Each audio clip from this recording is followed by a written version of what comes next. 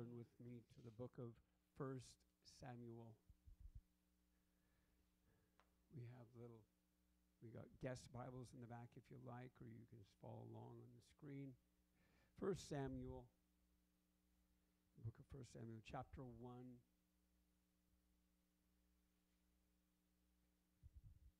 It's definitely before Revelation, so you'll get there okay. First Samuel chapter 1, we're going to begin our reading at verse number 1. The Bible says, Now there was a certain man of Rephiim Zophim of the mount of Ephraim, and his name was Elkanah, the son of Jeroham, the son of Elihu, the son of Tohu, the son of Zuph, and an Ephrathite and he had two wives. The name of the one was Hannah, and the name of the other was Peninnah. And Peninnah had children, but Hannah had no children. And this man went up out of the city yearly to worship and to sacrifice unto the Lord of hosts in Shiloh. And the two sons of Eli, Hophni and Phinehas, the priests of the Lord, were there. And when the time was that Elkanah offered, he gave to Peninnah his wife and to all her sons and her daughters portion. But unto Hannah he gave a worthy portion, for he loved Hannah, but the Lord had shut up her womb. And her adversary also provoked her sore for to make her fret, because the Lord had shut up her womb. And as he did so year by year, when she went up to the house of the Lord, she so she provoked her, therefore she wept and did not eat. Then said Elkanah, her husband, to her, Hannah, why weepest thou, and why eatest thou not, and why is thy heart grieved? Am I not better to thee than ten sons? So Hannah rose up after that they had eaten in Shiloh, and after they had drunk. Now Eli the priest sat in the seat by the post of the temple of the Lord, and he was in bitterness of soul, and he prayed unto the Lord and he wept sore. And she vowed a vow and said, O Lord of hosts, if thou wilt indeed look on the affliction of thine handmaid and remember me, and not forget, forget, pardon me, thy handmaid, but will give unto thine handmaid a man child, then will I give him unto the Lord all the days of his life, and there shall no razor come upon his head. And it came to pass, as she continued praying before the Lord, that Eli marked her mouth. Now, Hannah, she spake in her heart only, her lips moved, but her voice was not heard. And therefore Eli thought she had been drunken. And Eli said unto her, How long wilt thou be drunken? Put away thy wine from thee. And Hannah answered and said, No, my Lord, I'm a woman of sorrowful spirit. I have drunk neither wine nor strong drink, but have poured out my soul before the Lord. Count not thine handmaid for a daughter of Belial for out of the abundance of my complaint and grief have I spoke, spoken hitherto. Then Eli answered and said, Go in peace, and the God of Israel grant thy position that thou hast asked of him. Turn to the book of Judges. Go backwards to the book of Judges, chapter 16.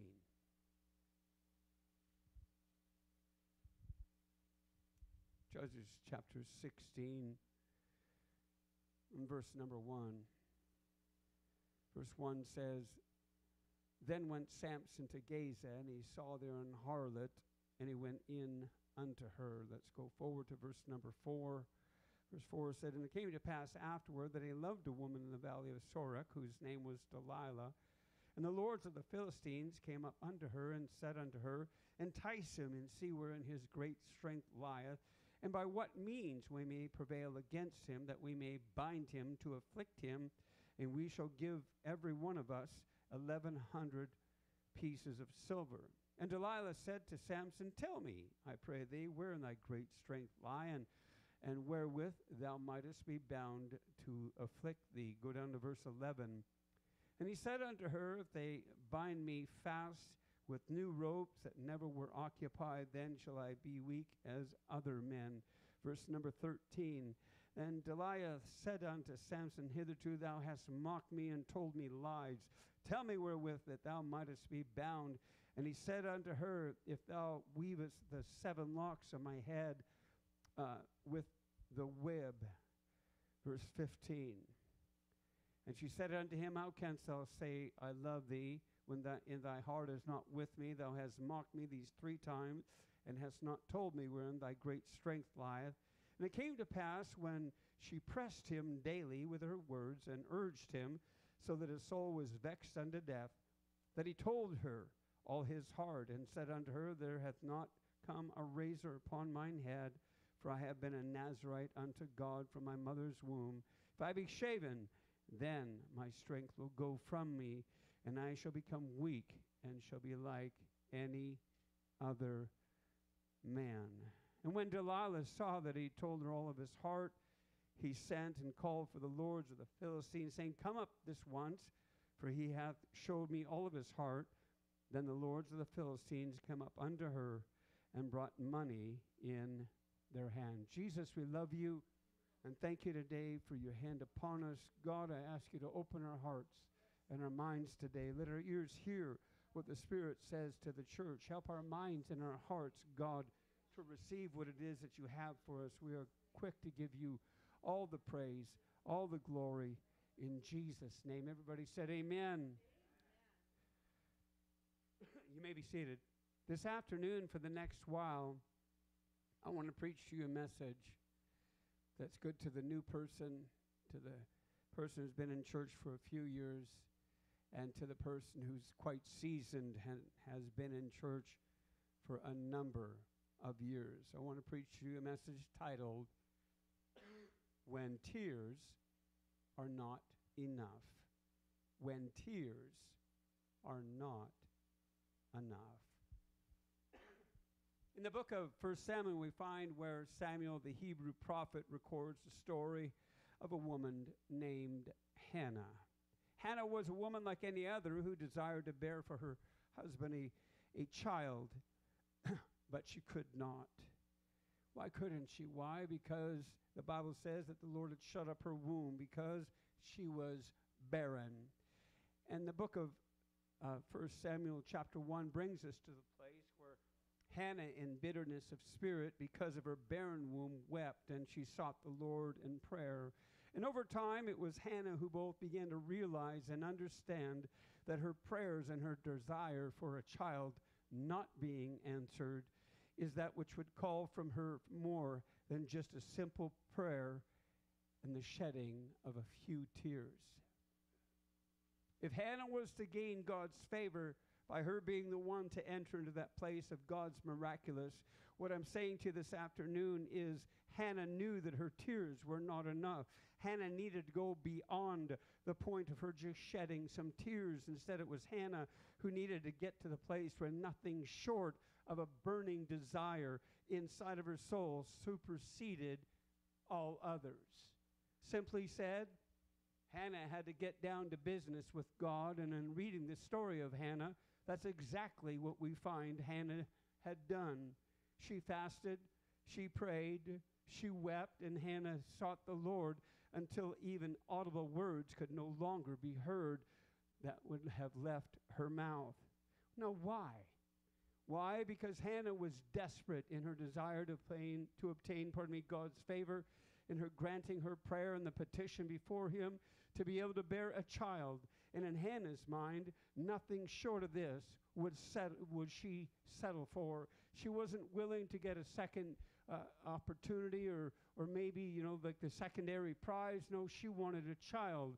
And she wanted a child for a long t- time, pardon me. She wanted a child, and she was mocked and made fun of by the others who did bear children. And so she got desperate. Sometimes in our walking with God, I want you to know that we have got to get to the place where we get desperate. So, having said this to you, I want you to know in concerns to your life, your walk with God, that there comes a time, and maybe there will come a time in your Christian walk when it is you who, in an earnest need, will be the one to seek the will or even the favor of God. And shall I say that in such a time, maybe you who must realize that in seeking for what you desire from God, that there can come a time when your tears are not always going to be enough. Sometimes you've got to get that inner soul where nothing's satisfied, nothing takes the place of what you want. there's nothing in your heart that could set aside anything. You have a purpose, you are driven, and you are purpose in a desire to hear from God. So, am I saying to you that if you come before God broken and in tears, that God won't hear you? No. I'm not saying that, but I submit to you this afternoon that is the fact that in your life at times it's you who too needs to understand that there will come times when your desire or what it is that you feel that you need in your life or what you're seeking God for very well may call for you to go beyond just your crying and just your shedding a tear or two and in your heart wishing that your answer would come. In other words, you'll find that God at times is looking for you to be the one to seek Him more earnestly. That just a wish and a promise and kind of a prayer is not going to do it. Now, why, ladies and gentlemen? Because the reason, because there are those times when you will find God looking for you to be the one to seek Him for what you want with all of your heart, declaring within your heart and mind, I mean it. I am desperate. I want the Holy Ghost. I need this healing. I have a backslid husband, wife. I have a backslid child, and I'm not willing to set aside for anything else. I mean it, God. I'm not just praying and crying today. I'm not feeling sorry for myself. What I'm telling you today that I understand that time comes when tears are not enough, when I have to push that button on the inside of my heart that says, Nothing is going to stop me, nothing is going to hold me back. I'm going to get your attention because in my life and in my soul, I mean it. Since I believe that there's too many times when we seek the mercy and the favor of God in a moment. And if you would be honest with yourself, you would be able to say how that there have come those times where more often than not, more often than some would like to admit, where while you were under the influence of the Spirit of God, that it has been you who uttered a promise, where it was you who sought God's favor. You even petitioned God for things in your, pardon me, in your life. you wanted God to do something for you, to supply it, to answer, to only, in the fleet of a moment and the utterance of a breath, being now in possession of what you sought God for to soon forget the matter of urgency that you expressed in your prayer, as well as the desire that you felt, and even in view of the indebtedness that you knew that you owed to God in exchange for what you received. I'll do this and I'll live better and I'll, I'll pray harder and, and I'll be more faithful. God, I'll do it. And, and, and I mean it. And then God answers that prayer, like I said, and and off you go in a couple of moments, maybe a few days later, and you forget it. It's a matter of days, weeks, maybe months. What do you do? You begin to take for granted what it was that God in His mercy had bestowed upon you. You begin to forget the vow that you made, the promise that you uttered during your petition before God. And, and God, in His love and mercy, said, Here, I'll give it to you, and, and you're going to do this for me. You'll be faithful, and, and you'll put yourself uh, in a position where I become first in your life. And over time, you just let it go.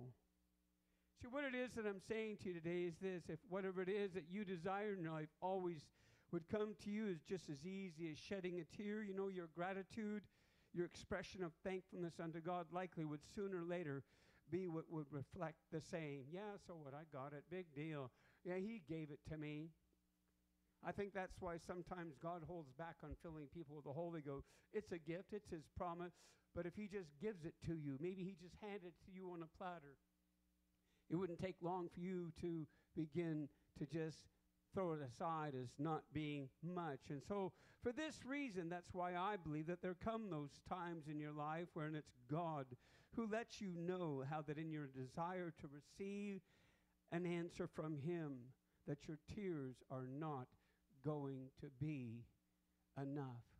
I cried, I, I boo hooed, and I came to the altar, and then I walked out and did exactly the same thing I've been doing for years. And I came back to church, and I, and I cried, and I petitioned God, and, and God hasn't heard me. He seems like He's turned a deaf ear, and He's not listening to me.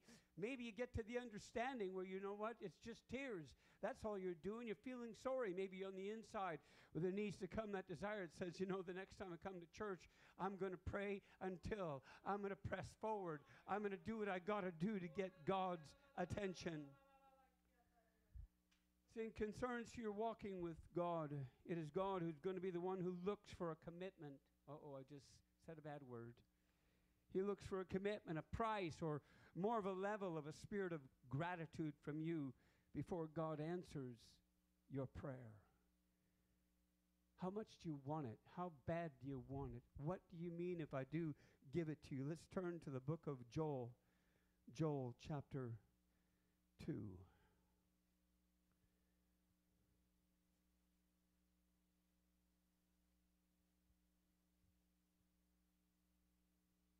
Joel chapter 2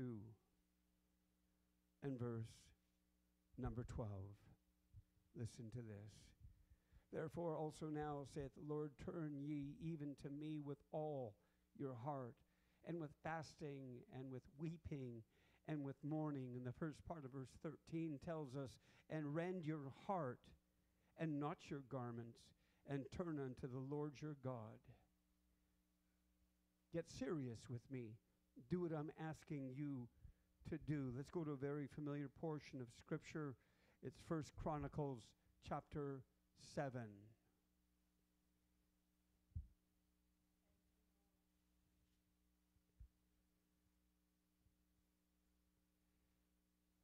First Chronicles chapter 7.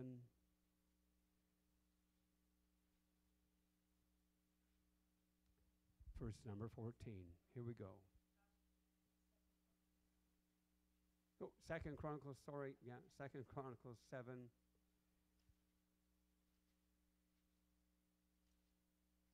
Second Chronicles 7:14.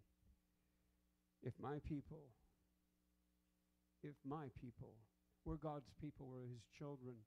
He called us out of darkness into his marvelous light. If my people, which are called by my name, shall humble themselves and pray, and seek my face, and turn from their wicked ways, then will I hear from heaven, and I will forgive their sin, and I will heal their land. That's called desperation. That's called purpose. I mean this, God. Okay, fine. I've been playing the game. I've been walking the fence, and I'm willing to get off that fence and get down to business, being serious.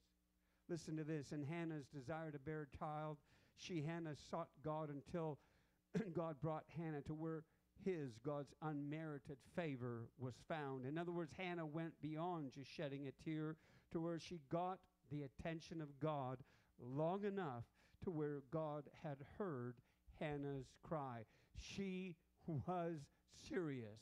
She was desperate. Could you imagine? The Bible talks about praying with the in, in, a, in a spirit that you, you can't even say words. You don't even, you are just burdened down in your heart. Whatever is holding you in your heart, that's binding in the heart, that you want to see God do, it is so tough. And there was Hannah before the Lord, and here come the priest, and he looks at her, watches her mouth. The Bible said he marked her mouth, didn't hear any words, and that's why I thought she was drunk. No, no, I'm just dead serious. I want a man child.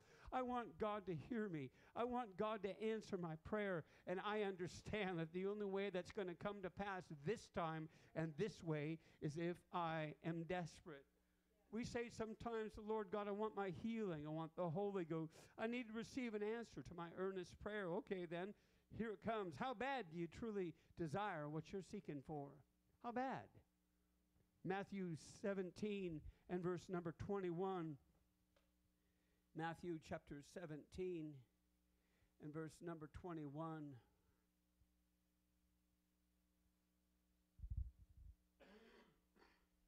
Howbeit, this kind goeth not out but by prayer. Pardon me, and by fasting.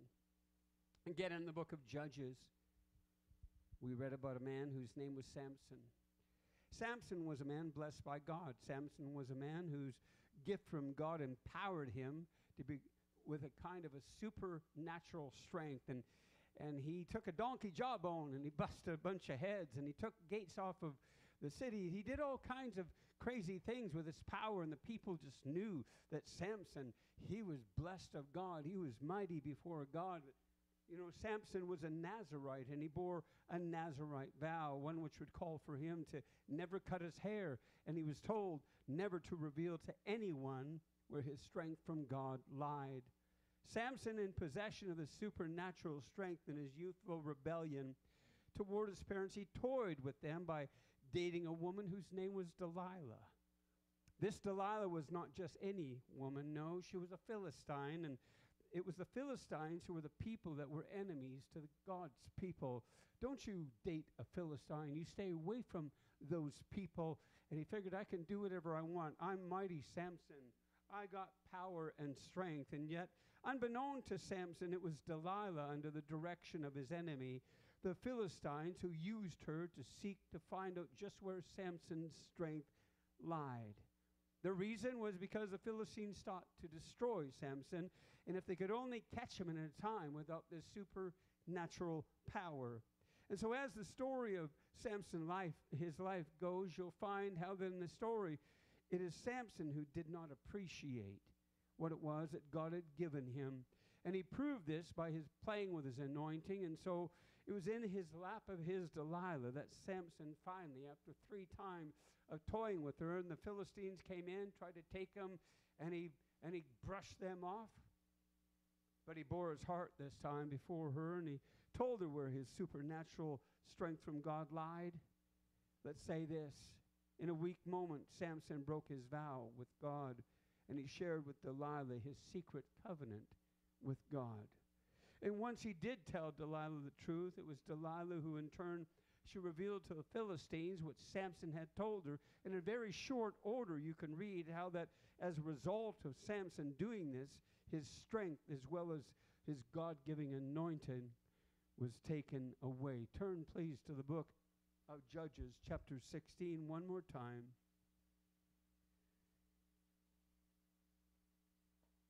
Judges chapter 16 and verse number 20.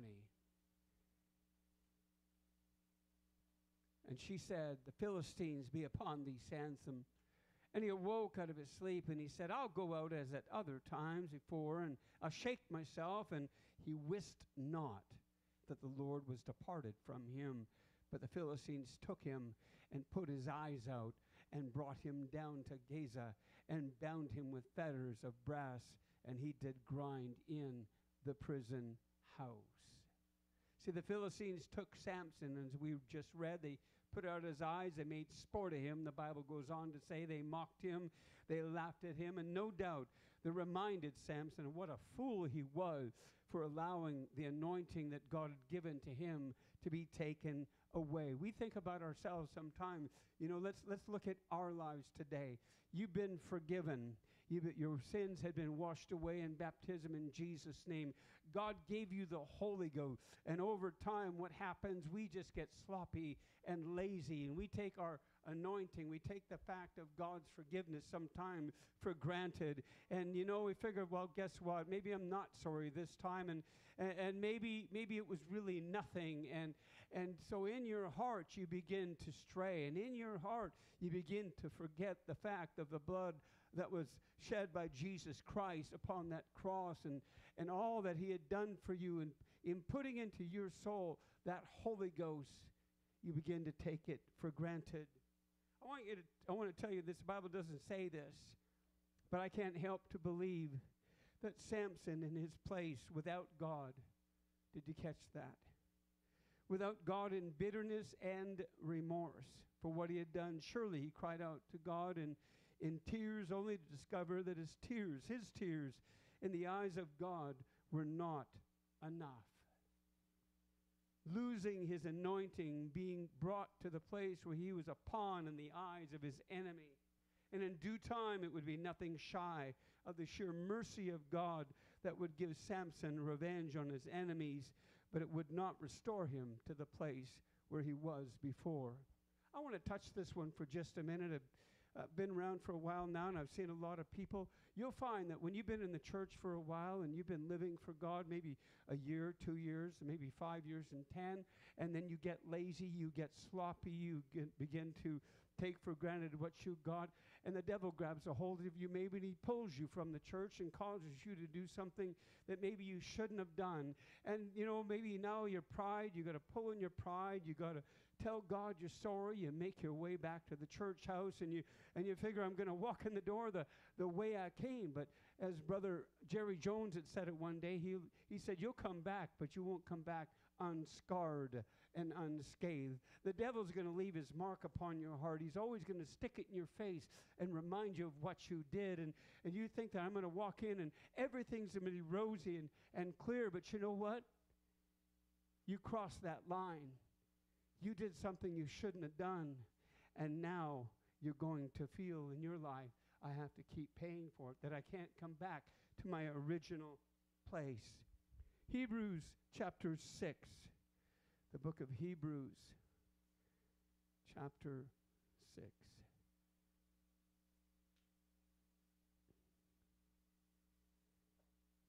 Hebrews chapter 6. A very serious portion of Scripture. Hebrews 6, verse number 1. First of all, therefore, leaving the principles of the doctrine of Christ, let us go on unto perfection, not laying again the foundation of repentance from dead works and of faith towards God. Go down to verse number four. For it is impossible for those who were once enlightened and have tasted of he- the heavenly gift and were made partakers of the Holy Ghost and have tasted of the good word of God and the powers of the world to come, if they shall fall away to renew again unto repentance, seeing they crucify to themselves the Son of God afresh and put him to an open shame. See, to sin and to think I'm going to get by with it, it's going to be okay, is to forget that you have an adversary. I've seen many people uh, in their lives, they live for God for a while, and then they, for some foolish reason, they do something silly and they backslide. Let's put it clear. They backslide, they fall away from God. And you know what the problem is?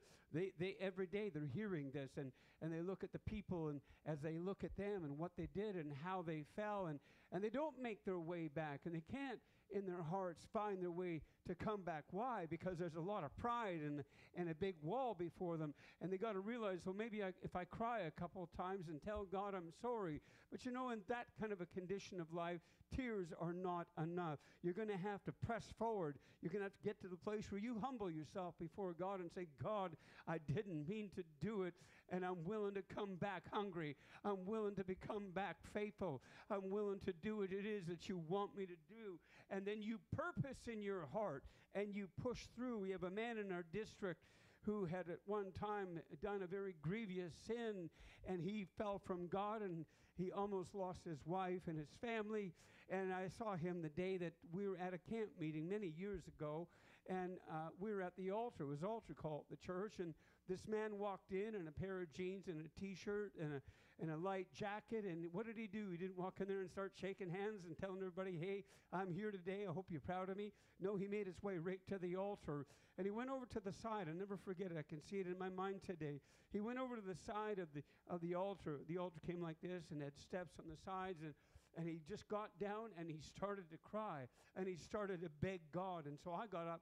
I was on in the ministry, so I was sitting on the platform. I got down and went right next to him, and I prayed and I cried with him, and I, and I went with him and, and I'm telling him how happy I was to see him back and and it was a journey for him to get back into his family. It was a journey for him to get back into his place with God. And, and no, I don't believe that he ever really did retain and get back what it was, but he got back to the place where he was forgiven. He got back to the place where the mercy of God was upon his life. And, and for years now, he doesn't stand there pompous and pious and proud. No, he's humbly thankful. He's grateful that he never lost his wife. He's grateful that his children never turned their back on him. He's grateful for the fact that God met him in the miraculous and that spirit of forgiveness came upon his life. So you see, Samson in his current state was made to face the harsh reality of truth that tears for him wouldn't be enough. Could you imagine? Just read the story of Samson in its full, in the entirety. What you'll find is he grinded at the mill. He, he is as human as you and I. I can tell you, he probably cried and he probably begged God and said how sorry he was that he broke that vow and he did what he did. And At the end of Samson's life, as you can read, even though the strength of God returned, he said, Let me just revenge myself of my enemies. God still required in exchange his life. It was Samson who played a game that was for keeps. And truly, in, his, in the end, he lost all of it. He lost everything that he had.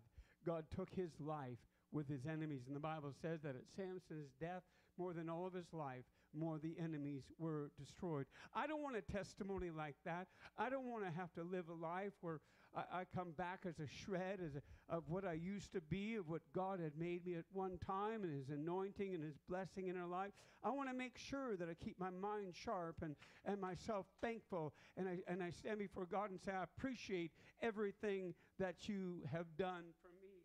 See, I want you to know there can come a time in your life where you get to the place where your mistakes and your sin can cause you to cross that line of God's mercy to where it is you who understands exactly what you are doing, which causes God's hand of compassion to be lifted from your life. And what you'll discover is the anointing of God that you had in your life has been lost. See, lured like Samson into the lap of your Delilah until Satan, your adversary, leads your life to where you get to the place where you're playing with your gift or that secret sin that causes you to turn has God turned his eyes from your tears? And you wake up to discover in all your bitterness and all of your remorse that your tears are no longer enough. I really got to do something desperate. I got to be a Hannah. I got to be one that's going to just turn my life around in 180 degree and run as fast as I can and fall before that cross of Christ and beg him for his forgiveness. See, I want you to hear me today. See, God is a merciful God. Don't ever question that. He's long suffering toward us. However, your ignorance in times past that God had overlooked may for you one day run out. As it's God who warns us in the book of Galatians, chapter 6 and verse number 7. Galatians chapter 6 and verse number 7. The scripture says, Be not deceived. God is not mocked. For whatsoever man soweth, that shall he also reap. In the book of Luke, if you'd like to turn there, the book of Luke, chapter 10. The book of Luke, chapter 10, beginning our reading at verse number 23. The Bible says, And he turned him unto his disciples and said privately, Blessed are your eyes which see the things that you see.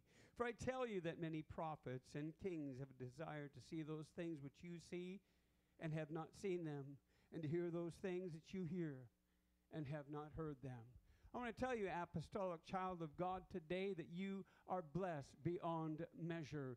You're walking in the light of truth. You are walking under the shadow of Almighty God. God has given you the Holy Ghost. He's given you an opportunity to one day to rise to meet Him in the air. And I believe what Jesus was saying to His disciples that day was never allow yourself in your lives to take for granted what it is that you've received. For if you do, the day could surely come when what you received is gone and tears may never be able to bring them back. And so you say to yourself today, wow, well, this is heavy duty. Pastor, why would you preach a message such as this? What is it that God, through this message, wants us to receive? And I'll say this too many times in the course of my living for God, I've seen the day arrive in the lives of the blood bought and the blood washed saints of God who, who cease to seek God beyond shedding just a tear. It's then, it's been them who have clearly shown really no regard for the gift nor the gifts that God had they had they had received from God. And over the last now 41 coming on years, I've seen those who come to God, and I've seen those who tasted of heavenly things that toy with their gift and even play with their salvation until the day in their lives arrives when God, in His displeasure, He looks down at them and says, Your tears are no longer going to be enough. Your sacrifice has been rejected. And in the place of bitterness, I've seen many, as I've already alluded to, walk out the church doors and and back out to the enemy's territory, and it's Satan who's been waiting to welcome their fallen soul back to Him. And I've seen many not return, falling down from ministry to saint of God to the new, to the season. They do silly things. They walk away. And, and sadly, in the church today, there remains those among us who take the mercy of God for granted and who play with their anointing as a child of God. And if you're not careful, the day could come in your life when you seek with your tears, and God, in His displeasure to you, says, Your tears are not enough. I've got to be serious. This is a game of heaven and hell and life of, and death and, and what God gives to us. And, and sometimes, sure, He hands it to you on a platter. Sometimes it's God who, who just bestows upon you and answers your prayer. And you never want to get to the place where you say, oh, big deal, and, and, and who cares, and, and it's not really important anymore. And so I believe that the message from God through me is clear. Every day it's you who needs to not just be, but should remain thankful for the gift or the gifts from God that you've received. In your life and in your walking with God, there should never come a time where you're found pushing the fence to where you in your life play with what and toy with what it is that God gave you. Toy with that anointing that God in His love and mercy had bestowed upon you. And it's you who now takes it just for granted. Big deal allowing God to become just commonplace. Commonplace in your life and your thankfulness and the fact that God saved you and that you're filled with the Holy Ghost, etc., no longer holds much weight in your life. That's why when we pray and we worship and we are faithful to God, we got to give 100%. I don't ever want to lose what God gave me. I don't want to go back out into the world that's going to hell in a handcart. I don't want to be lost. I don't want God to take away from me what He gave me. I don't want to allow that experience to get so cold. That's why it's important that you pray. That's why it's important that you fast. And Brother Holland is, is set up a schedule for and you don't have to fast and pray for 21 hours. That's a long time, or 21 days, pardon me. That's a long time. I've done that one time, and, and, and that's a very, uh, a, a very hard thing to do. But you know, when you pray, don't just play games and give God a lick and a promise. When you, when you fast and, and, and you're walking with Him, just don't give Him half of your life, but you know what? Say, God, I'm going to surrender it all. I'm going to give everything I have to you. I'm going to live my heart and, and my life is going to be 100% towards you. Because in your soul's desperation, for whatever reason, you begin to cry to God, you begin to petition for His divine favor. I never want to hear the words, Depart from me, work of iniquity, and I never want to hear the words, Your tears are no longer enough. Would you stand with me today? I believe that's why I've come to say to you, ladies and gentlemen, saints of God, new and old, no matter where you are in your walk with God, I'm talking to you. And to admonish you to guard your life against your being the one to become complacent and to protect your heart from ever getting to the place where you no longer cherish what it is that you've received from God. It's like playing roulette with God's gift until the day in your life when you seek to reclaim what you had to only discover your tears that you cry and remorse that you feel was not enough and what it is that you had maybe is gone. I close with this and I want us to pray. Romans chapter 11. Romans chapter 11.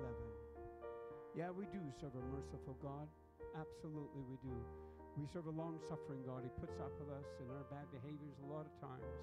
And He forgives us as often as we ask Him to forgive us. But sometimes when God looks down and says, You're just playing a game, you're not serious, you don't really mean it.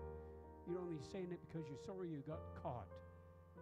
Romans 11 and verse 22. The Bible says, Behold, therefore, the goodness and the severity of God. On them which fell severity, but towards thee goodness. And it doesn't stop there. If thou continue in his goodness, otherwise thou also shall be cut off. I open this altar today and I ask you to come. Would you come and would you pray? And, and would you just talk to God? God knows where you are in each one of your lives. Don't be scared. We're not going to attack you or bite you. Just come on to the front, ladies and gentlemen. Just make your way to the altar. Get out of your comfort zone and walk forward to the altar and, and say, God, you know where I am. You know who I am.